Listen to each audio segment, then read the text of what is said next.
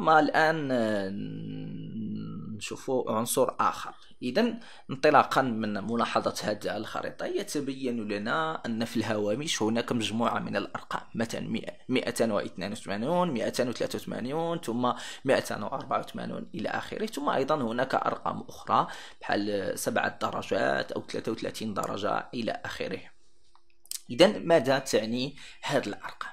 إذا هذه الأرقام هي التي تمثل لنا إحداثيات هذه المنطقة. إذا الإحداثيات فهي تمكننا من تحديد موقع ما على الخريطة. فلتحديده نستعمل الإحداثيات الموجودة في الهوامش ويمكن التمييز بين نوعين من الإحداثيات. الإحداثيات الكيلومترية اللي هي كنشوفوها هنا 282 283 284 ثم 324 323 322 إلى آخره.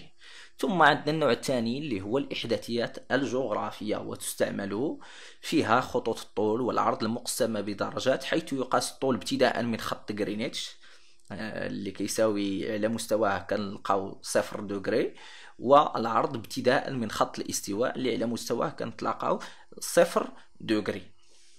يعني أننا كلما ابتعدنا من خطي الطول كلما زادت زادت الزاوية وبالتالي كتزاد لنا هذا الرقم الذي يمثل الاحداثيات الجغرافية ونفس الشيء أيضا بالنسبة لخط الاستواء. اذا بالنسبة للطول فإحنا تقريبا 7 دوغري وفي العرض أيضا فنحن تقريبا 33 دوغري اذا كيف يمكن أن نحدد آه، مثلا واحد نأخذ نقطة معينة كتطبيق.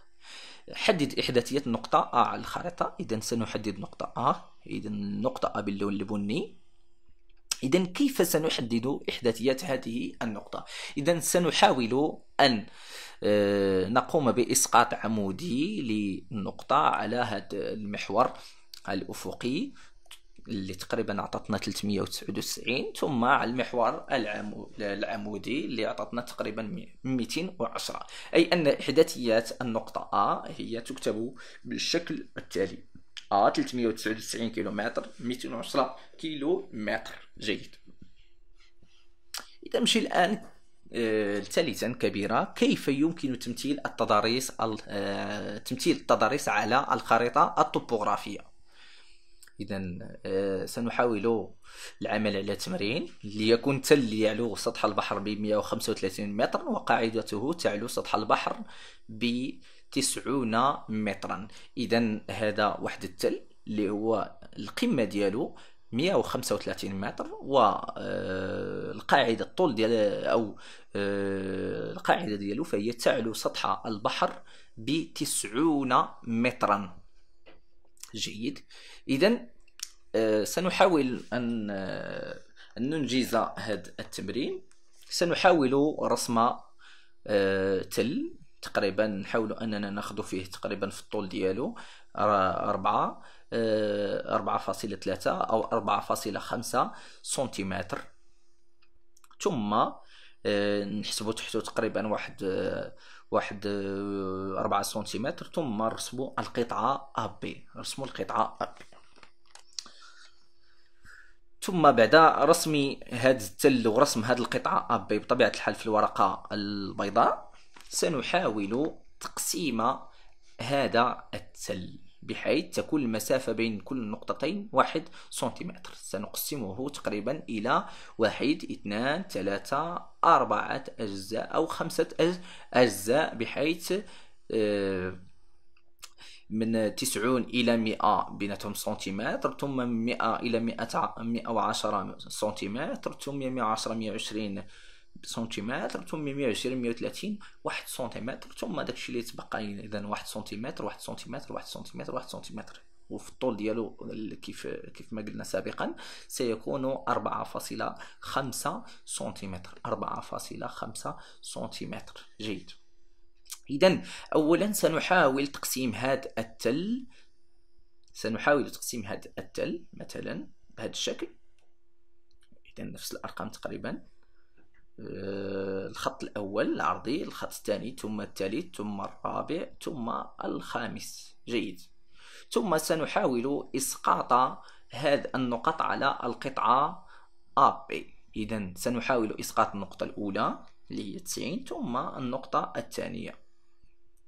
ثم النقطة الثالثة الرابعة الخامسة إلى آخره إلى أن نتم هذه الإسقاطات العمودية.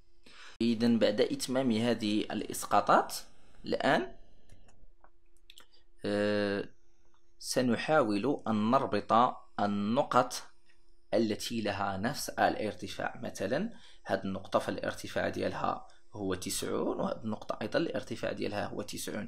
إذا سنحاول ربطها بواسطة أنصاف دوائر على هذا الشكل مثلا. نعتذر على الشكل لأن تقريبا فإحنا كنحاولوا آه، فقط نوضحوا المعلومة ثم 100 اذا غنحاولوا أننا نوصلوا أيضا نوصلوها مع النقطة للارتفاع ديالها 100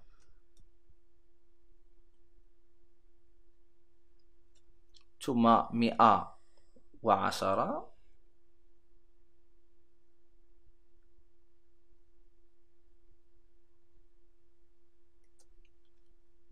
ثم مئة وعشرون.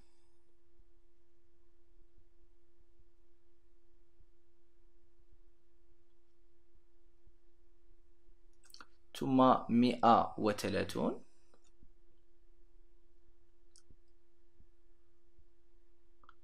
ثم تبقى لنا هذه النقطة اللي الارتفاع ديالها هو مئة وخمسة وثلاثون. مئة وخمسة وثلاثون إذا كل منحنى في هذه المنحنيات فلديه ارتفاع معين. مثلا المنحنى الأول فارتفاعها ارتفاعه هو تسعون ثم الثاني مئة